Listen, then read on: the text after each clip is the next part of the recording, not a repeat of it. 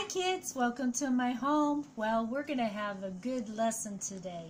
And the lesson is God makes a path through the Red Sea. So here we go. Pharaoh wanted the Israelites to come back to Egypt, and he didn't have enough slaves to do all the things that the Israelites did before they left. So Pharaoh and his army chased after the Israelites when the people saw the army coming. They were scared and they were afraid. And they couldn't run away because right at the edge of the Red Sea is where they were. So God takes care of his people. God told Moses to hold his hands out over the sea. And God sent a strong wind that blew and blew and blew and made the waves stand straight up and the people walked through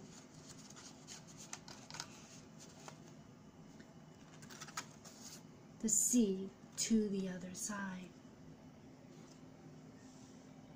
And that people walked to the dry ground. The Egyptians army tried to follow them and while the Israelites were safe on the other side, God told Moses to stretch his hands out over the sea again. And the water swallowed them up. And the water went back into its place. Whoosh! The Egyptian army was covered up by the water. And all the Israelites trusted God because the way he had saved them from the Egyptians. Well, that is our lesson for the day. I hope you liked it. I hope to see you soon. And I'm giving you a hug.